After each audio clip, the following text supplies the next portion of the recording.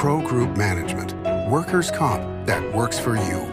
This is 7 at 7 from the Las Vegas Review Journal. Good morning, everyone. I'm Renee Summerhour. We start off with your top stories brought to you by Nevada Hands Silver Sky Assisted Living Community. Learn more at nevadahand.org. A couple was found fatally shot in what police say was a murder suicide in North Las Vegas. The married couple, both in their 40s, were found dead near East Ann Road and North 5th Street. Police believe the woman was bringing some medication to her husband when he shot her and then himself. An investigation indicated the woman had recently separated from her husband. Anyone with information about the incident is urged to call Crime Stoppers at 702 385 5555. And this is 48 year old Devin Cordova. He is the suspect arrested in connection with a fatal hit and run in Henderson that left one person dead. Cordova is suspected of driving a white pickup truck heading east on Sunset Road just before 5:30 a.m. on Sunday. The truck went into a sidewalk, hitting a bus stop enclosure and a pedestrian before it drove off. Cordova was booked on suspicion of multiple charges. The victim has yet to be identified. And a motorcyclist died in a head-on collision with a car near Seven Magic Mountain Sunday. It happened just after 3 p.m. near Las Vegas Boulevard and mile marker 7. Investigators determined that the motorcyclist tried to pass the car in front of him when he collided with the car. Three women in the Honda were taken to the hospital with minor injuries. The motorcyclist is believed to have been impaired at the time of the crash, but his identity has yet to be released. In more top stories, the Nevada Supreme Court has ruled that Las Vegas police violated the Nevada Public Records Act when the department failed to provide the Las Vegas Review Journal with information about an investigation into a law enforcement officer. In 2019, a reporter with the Review Journal requested a Metro Department case file for a criminal investigation. It centered around a Nevada Highway Patrol trooper who allegedly had attempted to hire a confidential informant to kill or harm his wife. Metro first claimed that they could not release records because the investigation was ongoing. They eventually released heavily redacted documents. An appeal with the Supreme Court was filed in 2021. In a unanimous decision last week, the Supreme Court found the records could be released with limited redactions. Review Journal executive editor Glenn Cook says that he hopes the ruling will compel Metro to be more transparent and called it, quote, a huge win for the public. Now for your weather report brought to you by Star Nursery, your garden's partner for every blooming thing. Sunny and strong winds are in your Monday forecast. Daytime highs in the low 60s with a slight chance of showers by the afternoon. Mainly today, strong winds at 25 to 35 miles per hour with gusts hitting more than 50 miles per hour in parts of the valley. Tonight, still breezy with lows in the mid to upper 30s. For the rest of the week, breezy conditions tapering off by Tuesday night. Mostly clear and sunny skies remaining. Daytime highs ranging in the mid 50s Tuesday, but increasing to the upper 70s by Friday. In your entertainment news, sponsored by Arizona Charlie's, has live entertainment every weekend at both locations. Go to ArizonaCharlies.com to see who's playing. Meet the developer who's breathing new life into the historic Huntridge Theater. Review Journal's Jen Ah has more.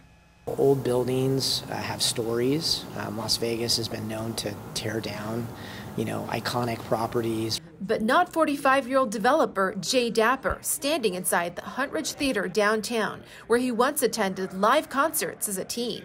A great architecture firm uh, called Gensler. Um, they're helping us with the design and the entitlements for the project. And then we've also signed a lease with Soho Playhouse. You know, it does off Broadway. Uh, but they also do comedy and you know we want to have a concert series and we want to have it be truly flexible Dapper says the building's historic designations add extra steps in the approval process, but his goal is to begin renovations in a year. Probably that. Before that, the historic theater sign and marquee lighting ceremony will kick off at 5:30 Friday night. Really show that we have a commitment to like move this forward. For the Review Journal, I'm Jen Ah. The former Imperial Palace Sportsbook is making way for disco to return as part of a new dance show with a $40 million price tag. The Sledgehammers came out to make way for Spiegelworld's newest edition. Six months of construction is underway for the 500 capacity venue. Disco Show is set to feature a 20 person cast and will be coupled with a French American diner. It's on path for a summer 2024 premiere at the LINQ. You can read all about this and more from John Katsilometes on LVRJ.com. Sports brought to you by Station Casinos, STN Sports. Download the mobile app today. Here at Cashman Field, the Vegas Vipers took home their second win of the season, defeating the San Antonio Brahmas 26 to 12. Head coach Rod Woodson spoke about why it's so important that the XFL sticks around. To see a guy like that who, I mean, he's been lighting our defense up for the last four weeks in practice, and I was like, man, I, I got to give him a shot. The Jalen McClendons need leagues like this so they can show their talents and uh, I'm hoping it's here to stay. In your health news, sponsored by Boulder City Hospital, we're here for you when you need us. The CDC is sounding the alarm on a new threat that has triggered the largest outbreaks in the country right here in southern Nevada. The Candida auris fungus has spread at a quote alarming rate in the U.S. The drug resistant and potentially legal fungus has seen growth in local hospitals and long term care facilities. This is not the new COVID 19, according to experts, as the fungus typically doesn't pose a threat to healthy individuals. It can, however, spread from surfaces where it can survive for long periods of time. To read more on this, visit lvrj.com. Sports betting brought to you by the Las Vegas Paiute Tribal Smoke and Cigar Shop. The odds are set for the NCAA Men's Championship final between San Diego State and UConn. Connecticut are the heavy favorites at minus 350 on the money line at William Hill Sportsbook to win it all. The Aztecs come in as plus 275 underdogs. The spread is set at 7 and the total is 132.5. The Huskies defeated Miami by a margin of 13 in the final four. San Diego skimmed by Florida Atlantic with a dramatic buzzer beater to defeat the Owls 72 71. In your business news, sponsored by Bank of Nevada Bank on Accountability, Formula One is expected to bring big business to the strip. But if you're looking for a cheap view of the race, you can forget about the sidewalks as an option. The sidewalks that line resorts on Las Vegas Boulevard will be open to foot traffic during the race, but the barriers set to be installed will all but eliminate the view for race weekend. Tickets for the Grand Prix range from $500 to more than $10,000 for multi day access to spectator areas.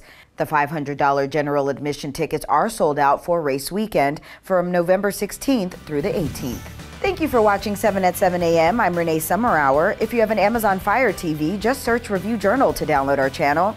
Watch Las Vegas breaking news streaming live on your OTT device. We'll see you back here later today for 7 at 7 p.m. from the Las Vegas Review Journal. Have a great day. Review Journal Studio, sponsored by Adam Kutner. Get the maximum settlement as quickly as possible. This 7 at 7 update, sponsored by Pro Group Management. You're watching 7 at 7 from the Las Vegas Review Journal.